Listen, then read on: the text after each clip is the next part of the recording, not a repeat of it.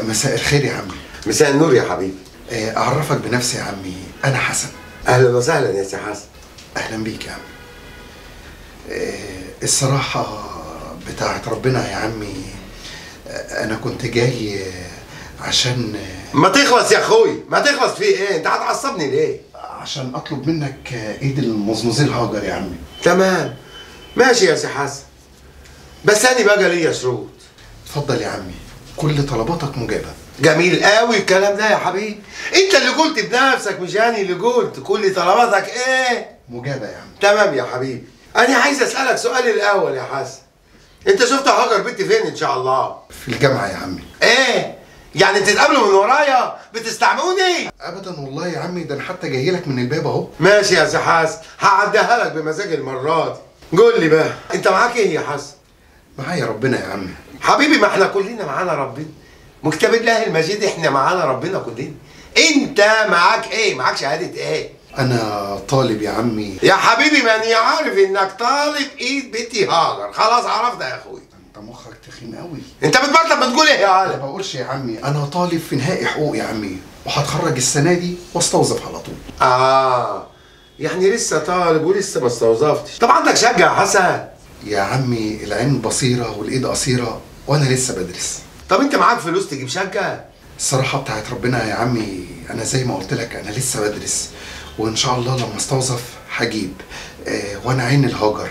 آه نقرأ بقى الفاتحة بقى يا عمي. طالما أنت كده يا أخوي فاني بقى بشتري راجل.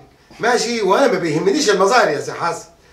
بنتي يا هاجر. أيوه يابا هاتي الشربات يا بنت الرسول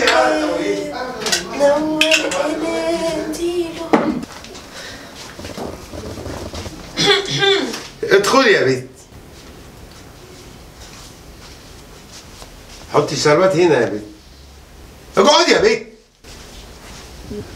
بص بقى يا أخوي. اني شبكة بنتي بخمسين جنيه. إيه يا عمي؟ أنا لسه ما خلصتش كلامي. وهتجيب لها كمان شقتها في جاردن سيتي يا عمي العين بصيرة والإيد قصيرة. وهتجيب لها فرحها كمان المطرب اللي بيقولوا عليه ده اسمه اسمه عبد العزيز محمود. هو اللي هيحيي لها الفرح.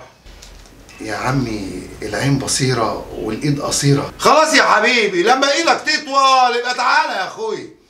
طب نقرأ الفاتحه حتى يا عمي. روح يا حبيبي أنا قلت لك اللي عندي. أنا ما عنديش كلام تاني اقوله طب ده آخر كلام يا عمي؟ أيوه آخر كلام يا أخوي. أنا همشي يا عمي. مع السلامة يا حبيبي الباب من هنا. بالإذن يا عمي. مع السلامة يا حبيبي مساء الخير يا عمي. مساء الخير يا حبيبي الصراحة بتاعت ربنا يا عمي أنا كنت جاي عشان أطلب منك إيد المصونة هاجر. يا حبيبي ما أنت طلبتها مني من 15 سنة. خش في الموضوع على طول. يا بنت يا هاجر. أيوه يابا. هاتي الشربات يا بنت لولا لولا لولا لولاكي لولا لولا لولا لولاكي ما حبيت ما تقول لي بقى يا حسن انت عملت إيه في اللي أنا طلبته منك؟ أنا لقيت شقة يا عمي في مدينة نصر وبسعر الرقطة نقرا الفاتحة لا فتحه ولا ضمة يا أخوي. أيوه يا بنت الشربات يابا. روح يا بنت سك على الشربات. ليه؟ هاتي قهوة سادي. المدينة نصر آه. بص يا حسن. أنا بنتي مش هتسكن غير في جاردن سيتي يا أخوي. يا عمي بكرة الظروف تتحسن وأجيب لها في أحسن مكان. جاردن سيتي يا حسن. يا عمي الظروف تتحسن. أنا قلت جاردن سيتي يا حسن. يا عمي. وبعدين تعالى عندك هنا. استنى أنا خلص ما خلصتش كلامي. أنا كنت طالب منك شبكة بكام يا حسن؟ 50 جنيه يا عمي ألف جنيه يا حسن. يا عمي مش ده اتفقنا اتفقنا إيه؟ الدنيا بتغلى يا حبيبي. وأنا بنتي تسوى شيء وشويات. يا عمي العين بصيرة والإيد قصيرة يا عمي. ده آخر كلام يا عمي. أيوه آخر كلامي يا حسن. همشي يا عمي. اتفضل يا حسن. بالإذن يا عمي. اتفضل يا حبيبي. مساء الخير يا عمي. مساء الخير يا أخوي. عمي أنا كنت جاي عشان يا حسن من غير مقدمات يا حبيبي خش في الموضوع على طول. أنت عملت إيه في اللي أنا كنت طالبه منك؟ عمي أنا لقيت شقة في جاردن سيتي زي ما أنت ما طلبت بالظبط. تمام. نقرا بقى الفاتحة بقى يا عمي. اصبر على نفسك شوية يا هلا اهدى كده على نفسك شوية. بنتي يا هاجر. أيوة. هاتي الشربات وتعالي يا بنت. إيه يا حسن إيه اللي قول لي بقى؟ ها سامعك أنا؟ يلا كمل يا هلا يا حسن آه لقيت ال- الشقة زي ما قلت لحضرتك. الشقة بس ناقصها شوية حاجات يا عم. ناقصها إيه بقى يا أخوي؟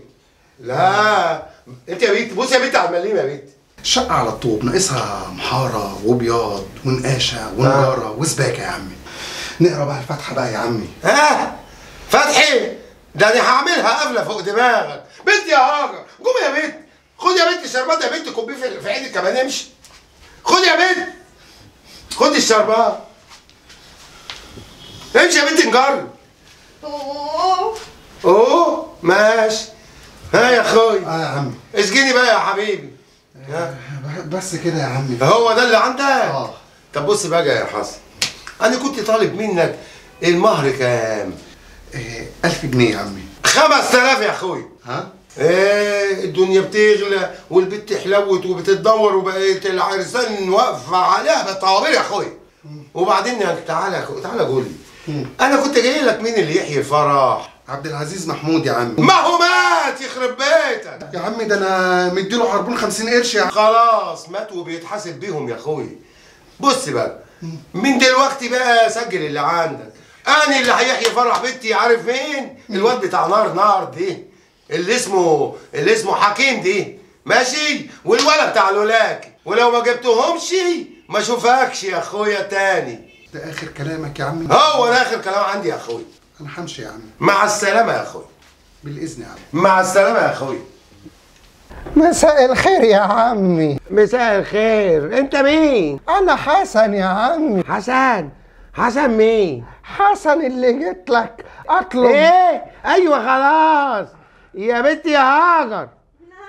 هاتي يا بنتي كيس الزبالة من عندك. اديه لحسن الزبال يا حسن هتلاقي كيس الزبالة عندك في المطبخ. هتلاقيه في المطبخ يا حسن. زبالة مين يا عم؟ الله ينورهم لك. أنا جيت لك من 55 سنة عشان أطلب إيد مزمزيل هاجر. نقرا الفاتحة بقى يا عمي. أيوه هو أنت حسن بتاع اقرا الفتحي آه يا عمي. طب وعملت إيه من اللي أنا قلت لك عليه يا حسن؟ أنا طلعت على المعاش يا عمي وخدت مكافأة. والشقة اتشطبت وجبت الشبكة ب 15000 زي ما طلبت يا عمي. نقرا الفاتحة بقى يا عمي. أيوه يا ولا اصبر على نفسك شوية كده اهدى.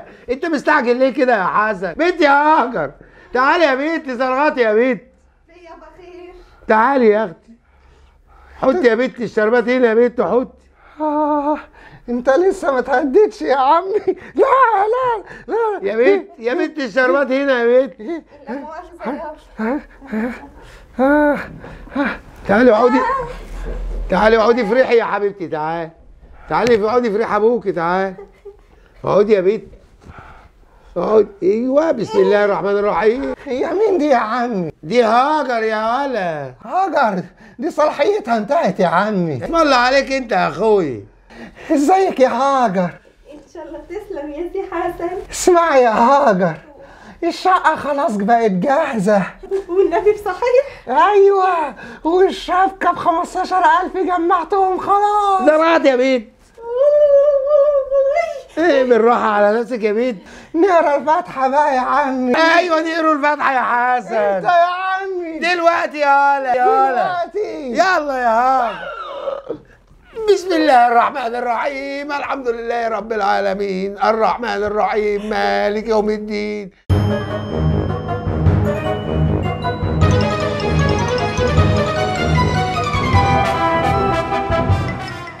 هل الأب مطالب إن هو يجهز بنته؟ الإجابة لا. دار الإفتاء قالت إن الزوج عليه كل تكاليف الجواز من إنه يجيب شبكة وشقة ويجهزها ويفرشها كمان. والراجل بيبقى عليه كل نفقات الجواز من مأكل ومسكن ومشرب بيلتزم بكل حاجة من الألف للياء. وقالت كمان دار الإفتاء إن المهر بيكون للبنت بس محدش يقدر يجبرها على حاجة أو ياخد حاجة منه. وكل حاجة الراجل بيلتزم بيها من الألف للياء. لأن الراجل قوام على المرأة وده اللي ورد ذكره في القرآن الكريم الرجال قوامون على النساء. هنا بقى هنواجه مشكلة. لو مشينا بالشرع فتلات أرباع الشباب مش هتتجوز والجواز بس هيقتصر على المقتدرين ماديا. في بعض المحافظات العروسة بتهدي أم العريس هدايا. ممكن تكون صالون أوضة نوم آه، غسالة مطبخ. في صورة هدية هي مش مجبرة بيها. هنا بقى هنلاقي مشكلة تانية؟ إن في بعض العائلات بياخدوا موضوع الجواز كأنه منافسة.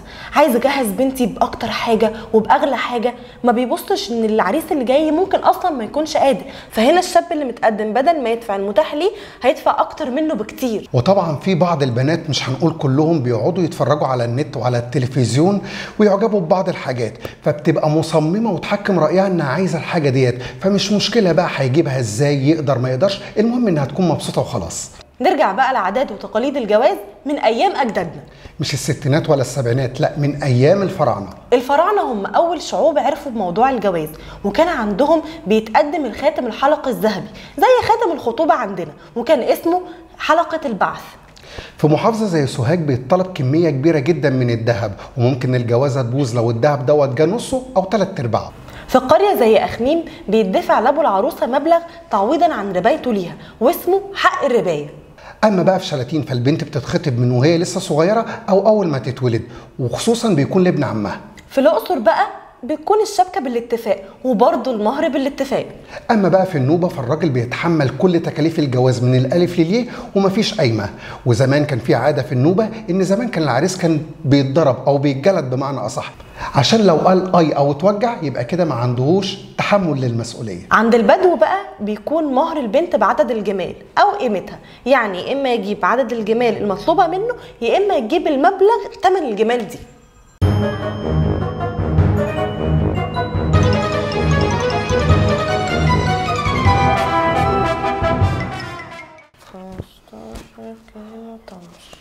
يا هاجر. يا هاجر. اللهم طولك يا روح. لا بقى مش هينفع كده. يا هاجر عايزك شو... يعني بقالك ساعتين ونص عمالة تكتبي. أنا نفسي أفهم انت بتكتبي في إيه. حاجة رمضان يا حسن. حاجة رمضان. كل ده. ليه؟ وده موضوع الحلقة الجاية. استنونا